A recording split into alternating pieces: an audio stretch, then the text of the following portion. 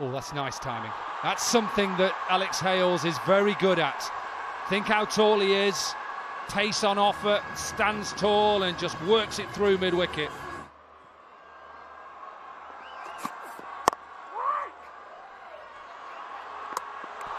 Another direct hit. The only problem is if this isn't out, it goes for four.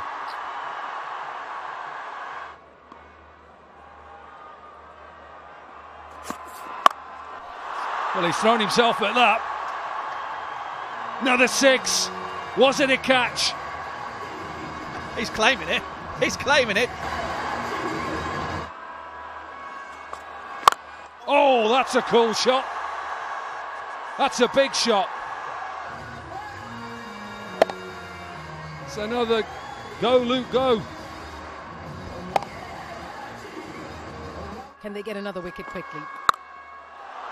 Hales has exploded and it's gone for six. Well, you said he's the the key. He certainly is. 29 from 15, and he's got himself going.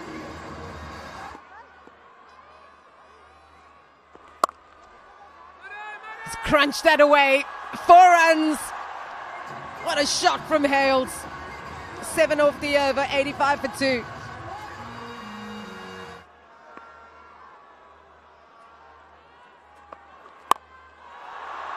Well, Delport is uh, not going to be kept quiet either. He's cleared the boundary for another HBL six.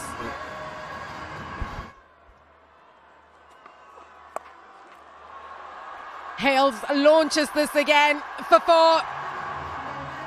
Wherever you're bowling, Alex Hales is managing to find the boundary.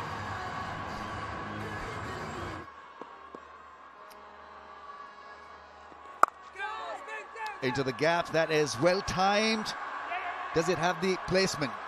The ground feeling generally has been very good. We've got a couple of great boundary riders. Yeah, just been starved to strike a little bit in the last couple of overs, Alex Hales.